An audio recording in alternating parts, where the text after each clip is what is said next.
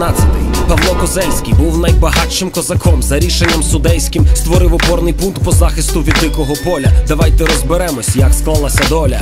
Майже століття не чекає якоїсь величі. Це просто мирне селище. Послухай, що тут в мене ще.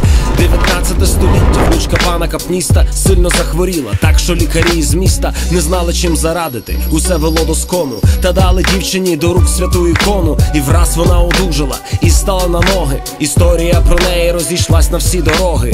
А батько дівчини в подяку церкву збудував і поруч звівся монастир. Люди вірили в дива Козельщина 1891 рік. Перша в краях бібліотека є до сих пір.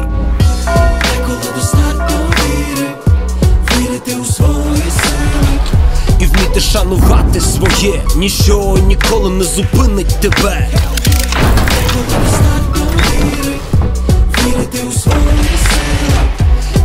шанувати своє, ніщо ніколи не зупинить тебе. 1929, закрито монастир, і звідти більшість книг довелось перенести у нову бібліотеку. Але під час війни її громили, грабували, її палили і нищили. А після розпаду союзу вже ніхто не вірив. Козельська бібліотека владі стала непотрібна. А тепер ти зупинись на секунду. Уяви, скільки людей багато років читали у книжки. Вони поїхали по світу, будували там міста, були пілоти, інженери, бізнесмени неспроста. Пам'ятали ж ті часи, коли малими ще вони в рідній бібліотеці читали старі книжки. Звісно, це уява, ми це знаємо заочно. Але є історія, яку ми знаємо точно. 2019 було ж не так далеко. Відтоді Smart Foundation відродили бібліотеку.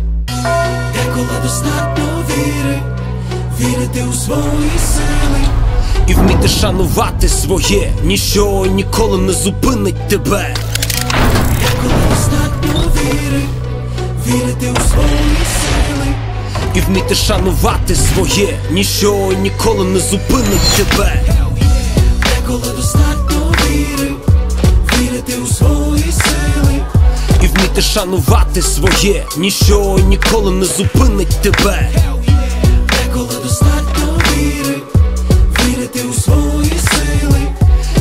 Шанувати своє, ніщо ніколи не зупинить тебе.